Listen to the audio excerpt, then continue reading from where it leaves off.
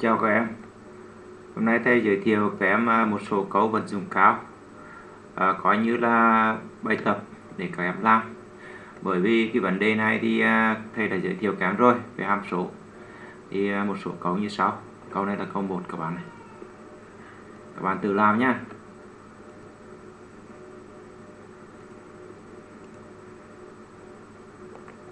Câu 1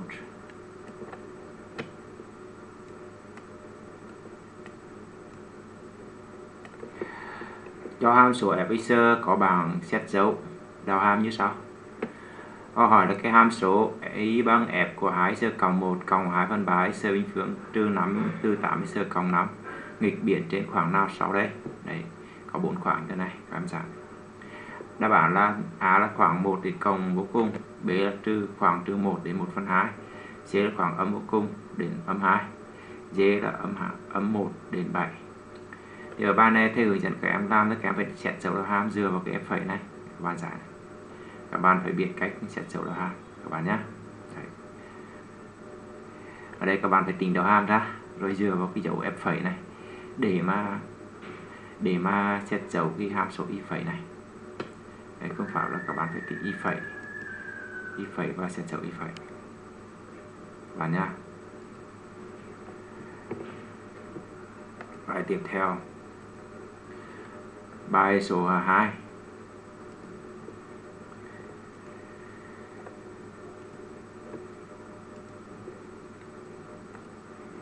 cho hàm số f có đầu hàm trên r và có đồ thị đầu hàm f phẩy x như sau. Đây là đồ thị đầu hàm của bạn này.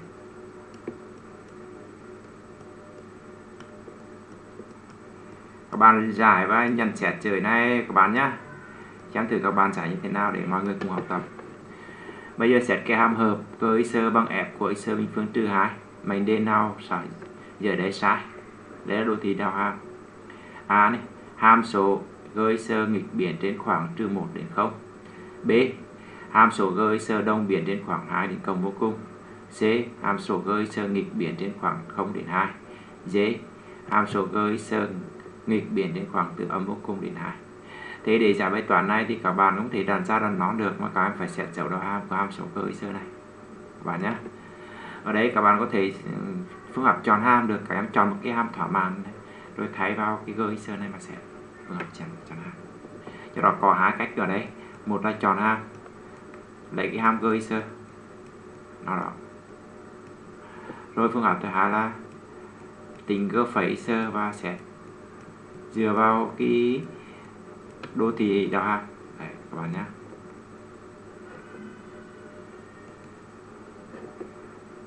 Bài tiếp theo. Bài này liên quan đến à, phương trình. Bài này số 3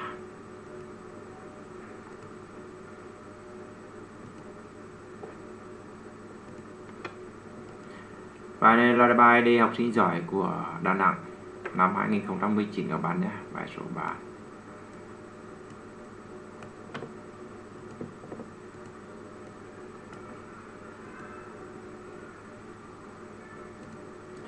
Bài này à, tìm tất cả các giá trị m. Tức là tìm điều kiện nha m. Đấy là thực chất là tìm điều kiện các bạn. Để phương trình trị tuổi của 8 mũ 4 x 8 x mũ 4 từ 2 đến cột bình phương x bằng m. Có 6 nghiệm phân biệt thuộc khoảng âm âm pi trên 2 đến pi trên 2. Đấy, điều kiện điều kiện để có 4 nghiệm phân 6 nghiệm phân biệt các bạn. Đấy đáp bản A là m bằng 2 ở đấy tìm tất cả giá trị m các bạn nhé, tức là tìm điều kiện đấy. Câu đáp án B là m bằng 3 đáp án C là m lớn hơn 2 nhọn 3 đáp án D là m lớn bằng 2 nhọn bằng 3 vậy thì à, ba đấy là ba câu thuộc cái dạng vận dụng cao các bạn này. Vận dụng cao liên quan đến hàm số đấy. Thì những cái câu này thì các bạn phải tìm cách giải phù hợp nhé trên kênh của thầy đã có một số câu về vận dụng cao rồi thì cầu này thì rõ ràng là à, các bạn phải xét cái hàm số này thôi. Đấy xét cái phải lập được bảng biến thiên của hàm số này. Đấy. muốn vậy các bạn phải xét cái hàm số trong trị tuyệt đối này.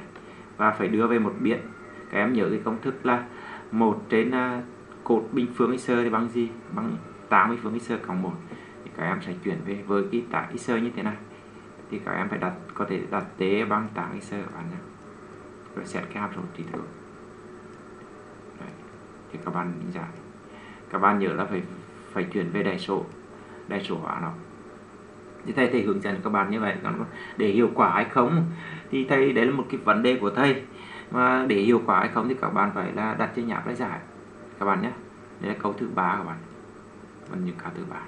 Các bạn đặt trên nháp và nhận xét cách giải và comment cái phần đáp án này kết quả những cái phần này để mọi người cùng tham khảo các bạn nhé đây là các bài tập ba bài tập vận dụng cao về về vấn đề hàm số thầy trả cho các em. À, cuối cùng chào các em hẹn gặp lại các em trong dịp gần nhất.